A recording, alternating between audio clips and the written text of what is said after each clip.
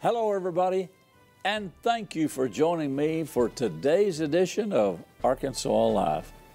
All this week, we're talking about and teaching on a statement that Ben Franklin made to a woman after the Constitutional Convention was over, and she wanted to know what kind of government America was going to have. And he said, Madam, you have a republic if you can keep it. And that's what I'm talking about today if you can keep it. And I'm contrasting it to the same thing that God told Adam in the Garden of Eden. He told him to dress it and keep it. So get your Bible, stay tuned. Arkansas Alive starts right now.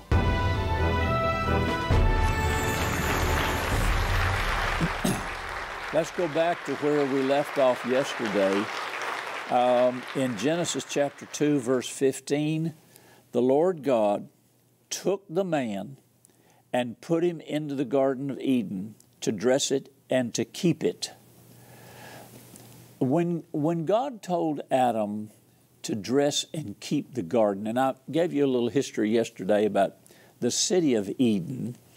Uh, actually, by the Babylonians, it was called Eridu, E R I D U. It was excavated, oh, in the 1900s by the British and it's in the Ashmolean Museum at Oxford. You can see it there. There was a real city there, underground sewers, libraries. It wasn't cave dwellers. These were educated people. And uh, God planted the garden east of Eden, and He built the city of Eden, and He put man in the garden, not to hoe and to pull the weeds. I heard a preacher say one time, that all Adam was was a glorified weed puller. And I thought, a glorified weed puller? What does he mean? there were no weeds in the garden. There was no curse. There was no uh, no sin. There was it was it was perfect. It was beautiful. It was created by God to be a beautiful a place of fellowship between Adam and God. And I read you some of the attributes of the garden that I got out of the uh, Haley Bible commentary, a textbook. Actually, I use it as to uh, describe things that happen uh, in those early days when God created the Garden of Eden. So, Adam was not pulling weeds.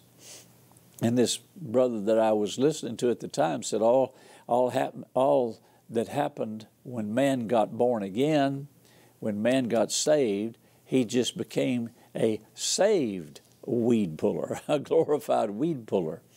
Well, there were no weeds in the garden until after Adam sinned. Then the curse came on everything.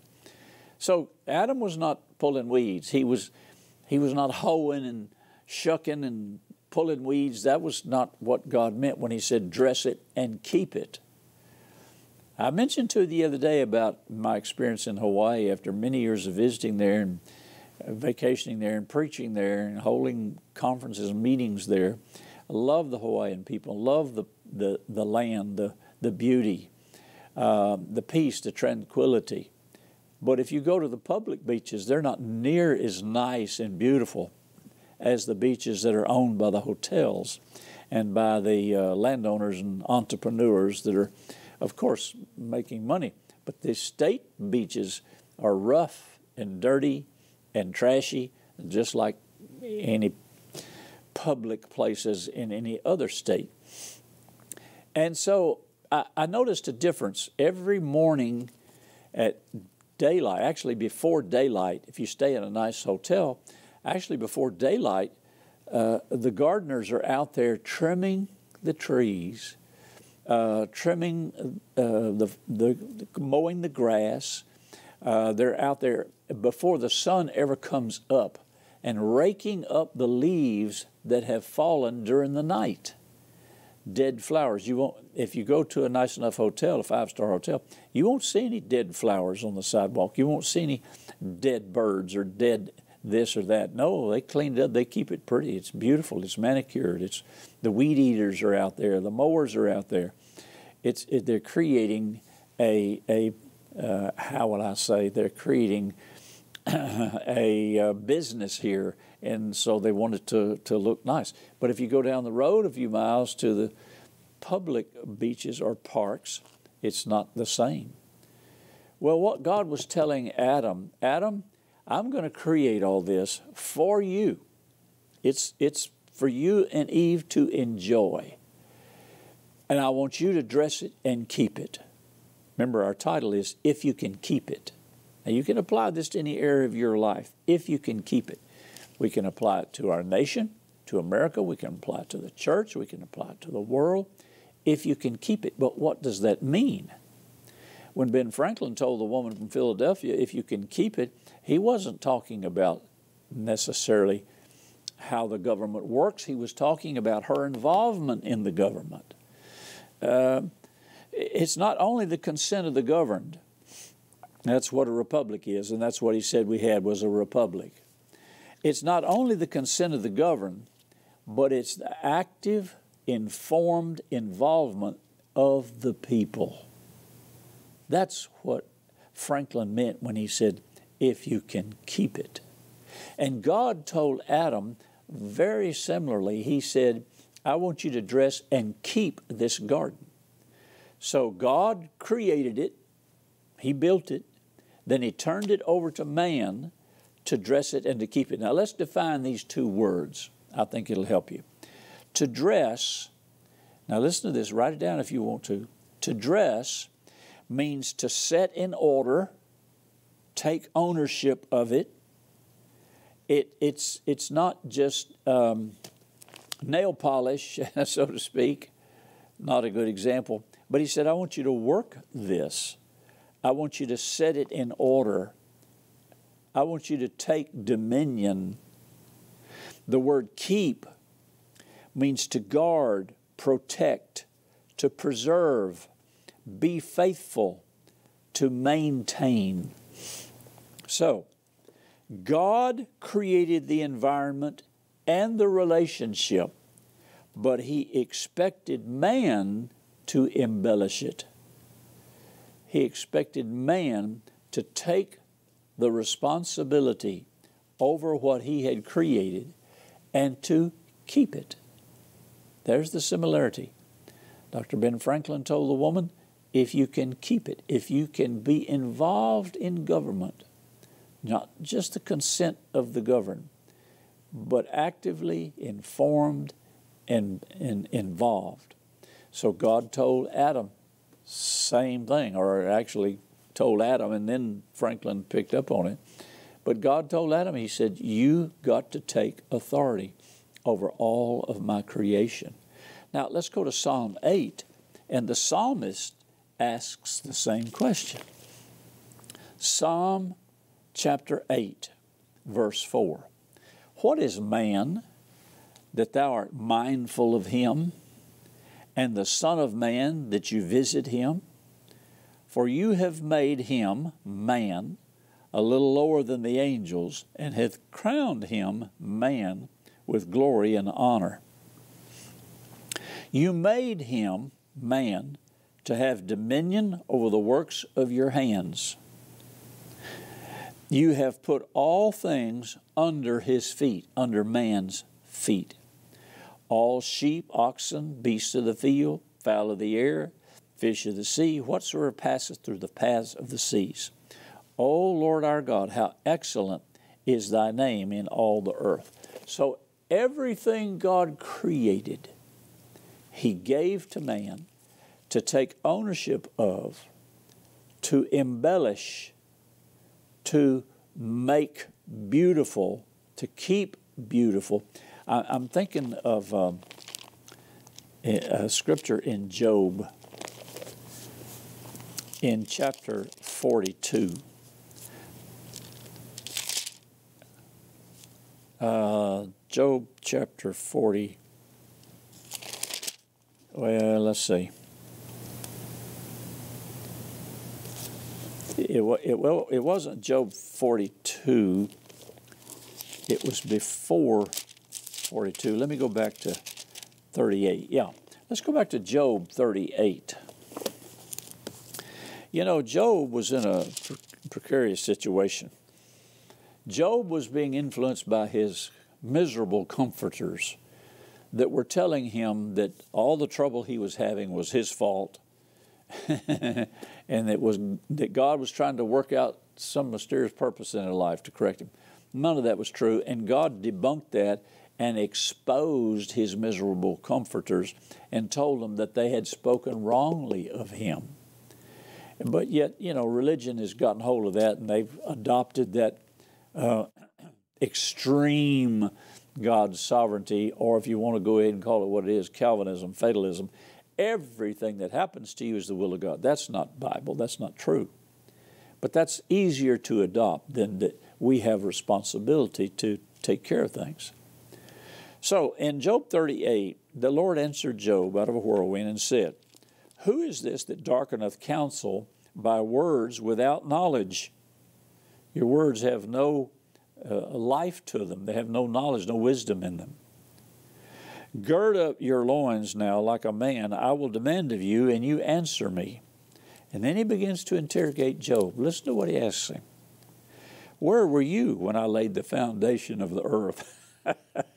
you think you know so much, your miserable comforters. Where were you when I laid the foundations of the earth? Declare if you have understanding. Who laid the measures thereof, if you know, or who has stretched the line upon it? Whereupon are the foundations uh, thereof fastened?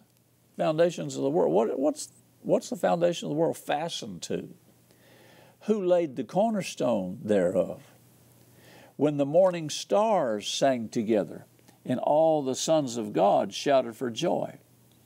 I've heard the stars singing. I have. I, I was uh, uh, on a moose hunt with some minister friends of mine up in the Northwest Territory in the Yukon. And, uh, you know, we were there in September and it was 32 degrees, freezing. I mean, we had to break the ice off the stream so we could get our drinking water in the morning. That's how cold it was in September. Uh, the moose, the grizzly bear, uh, yeah, the caribou, everything up there um, thir- uh, is uh, flourishing in, that particular uh, atmosphere. And it was beautiful. And at night, of course, the night was, you know, you could, it would be daylight up until 10 11 o'clock. And you could hear and you could see the northern lights. And there was an eerie sound. I know because I sat out by a lake uh, at, night before I went in uh, the cabin to go to sleep, and you could hear the stars singing. You could hear this eerie sound, and you could see all of the colors of the northern lights flashing and swirling back and forth, and you could hear these sounds, the songs, the stars were singing. And God asked Job, said, Where were you? Have you ever heard the stars singing together? All the sons of God shouted for joy. Who shut up the sea with its doors? And when it broke forth, as if it had an issue out of the womb, he's talking about uh, the tides, he's talking about the waves. When I made the cloud, the garment thereof, and thick darkness, a swaddling uh, band for it, and broke it up by my decreed place and set bars and doors and said, listen to this, God's talking to the sea, and said, Hitherto shall you come, but no further, and here shall thy proud waves be stayed, stopped. So, anytime you see any perversion of, of nature, ocean, hurricanes, tornadoes, um, water spouts, anytime you see tsunamis, anytime you see things like that, if you know the scriptures, you know that that's not God. God is not perverting what He created and set in order. Boy, there's a. Now, now uh, stay close to me here and listen. God told Job, He said, Job, I told the ocean, I told the seas how far they could go, and they couldn't go any further. You know, He told uh, Noah, He said, I will never flood the earth again. So the rainbow was a sign of the covenant that God made with Noah. He would never destroy the earth with a flood. So if there is a flood, and just, you know, days ago we had floods in all places like Las Vegas, Palm Springs, in the desert. Uh, we had an earthquake in Los Angeles. I mean, you know, all the upheavals of nature. We had fires up in the Northwest, fires in Hawaii. All of the upheavals, all those things are not God. God is not the author and the creator of destruction, of perversion. God set everything in order, all of the seasons, all of the winds, the water, the rain, everything. And when Jesus was out in the boat on the Sea of Galilee and a storm came up and it was filling the boat up, and the disciples woke Jesus up and said, Master, we perish here. Are you not concerned about us? And Jesus stood up and rebuked the wind, rebuked the water, and said, Peace, be still. What he was actually saying, according to Rick Renner, a Greek uh, authority, uh, Greek scholar, said Jesus was actually saying, shh, be quiet, be still. Isn't that what we say to our children, our babies? Shh, be still, be quiet. And if you research it further, he was actually saying to the wind and the waves, the storm, go back to the normal function for which God created you for and it is not to steal, kill, and destroy. So anytime you see perversions of nature, it is not God. Now, you can go over and read, um, and I'll flip over there real quick if I can find it real quick. Romans chapter 8 and verse 22. For we know that the whole creation groaneth and travaileth in pain together until now. Why, why are you seeing the fires, the earthquakes, the tornadoes, the hurricanes? Why are you seeing all this destruction? The earth is in pain. In pain from what? Sin. Sin not only produced death in the humanity that God had creation, that God had created, but it's producing death in the earth you know, the political whatevers and the investors and all that, they want to use climate change for an excuse for everything that's going on. Everything that happens, they're blaming it on climate change. When the founder of the Weather Channel, John Coleman, he said there is no such thing as climate change. He said that's all a hoax.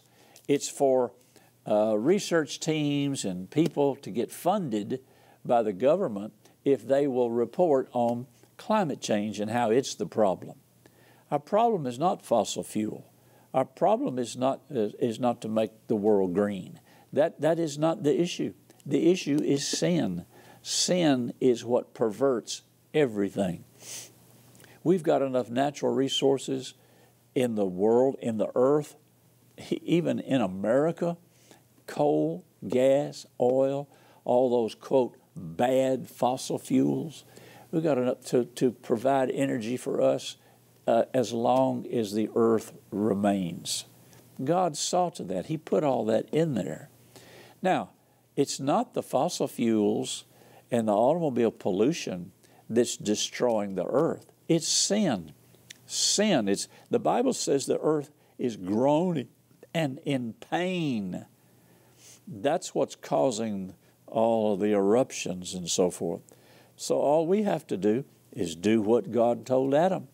He said, I want you to dress and keep this garden, this beauty that I have provided for you.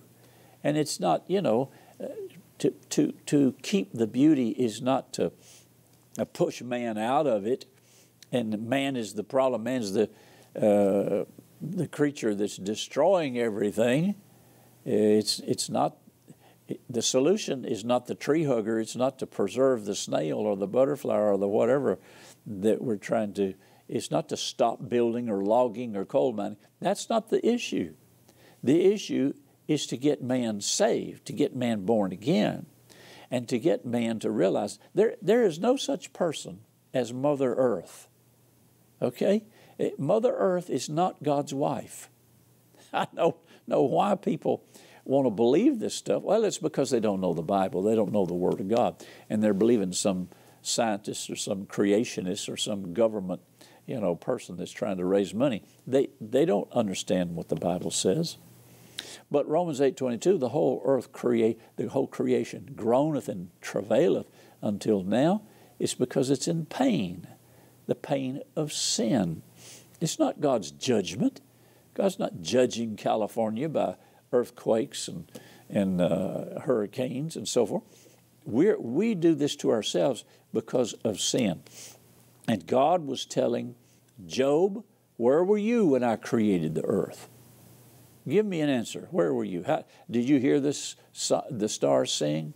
Uh, did you hear the oceans go so far? The oceans can't go any further. If the oceans go any further and destroy, it's a perversion of nature. It's Satan that is perverting the normal plan of God. So when God told Adam, I want you to dress and keep this creation, he meant for man to take authority over the tormentor, over the destroyer. That's who, who Satan is. He's the destroyer. He was man was supposed to take authority over him.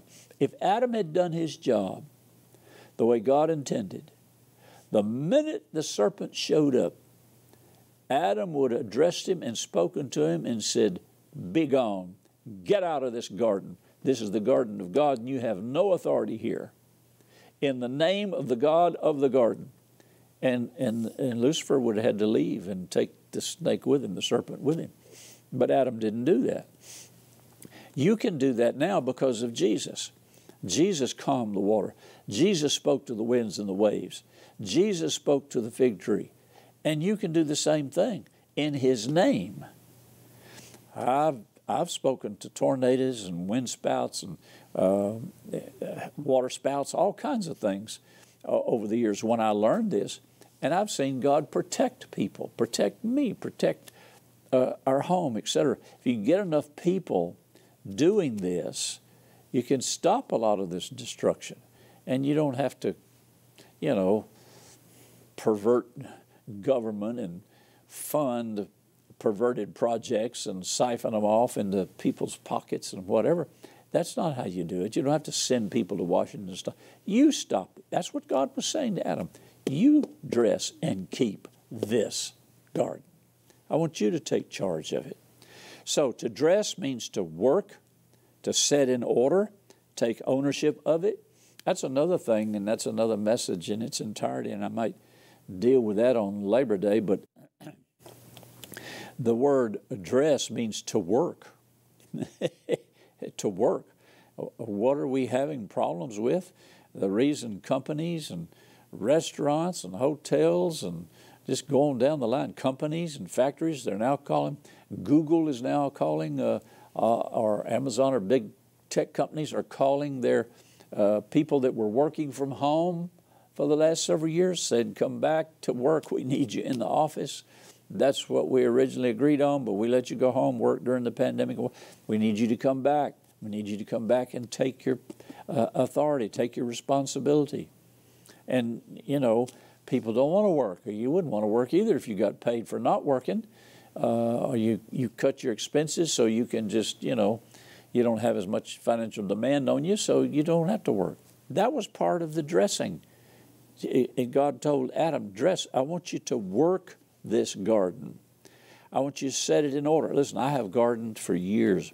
I've expanded my garden until I just quit totally because of time and, and the time that it took. But I finally decided, uh, you know, I'm not going to do this anymore. But while I was doing it, you have to work that garden. You have to get out there and pull the weeds out of it because the earth is cursed. Now, the earth wasn't cursed in Adam's day. The, gar- the curse hadn't shown up yet. But to work this garden, they had to perfect things, they had to take care of things.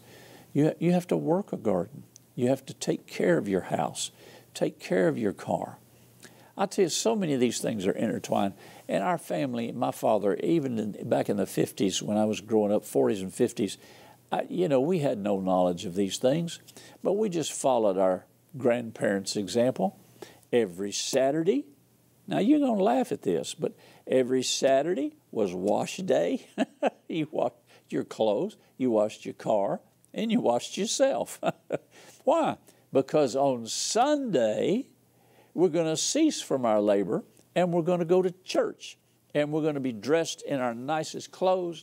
Our shoes are going to be shined. Our car is washed and cleaned and vacuumed, and we're going to honor the Lord.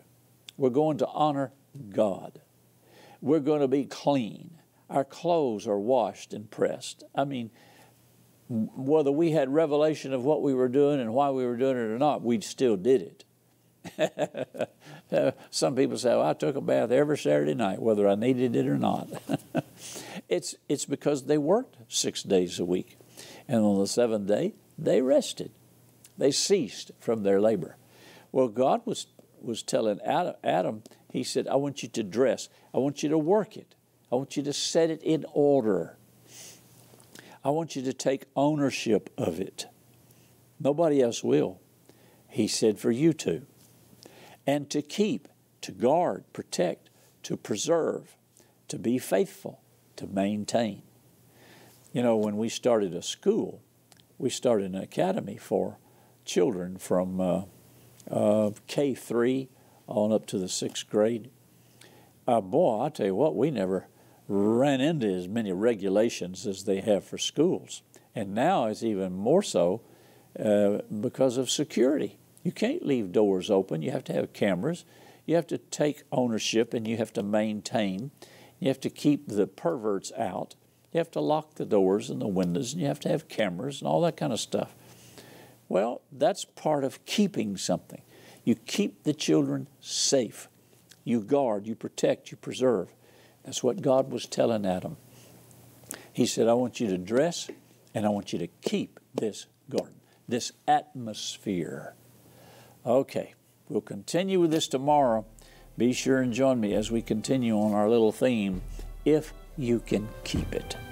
And don't forget, Jesus is Lord of Arkansas and wherever in the world you're watching, too.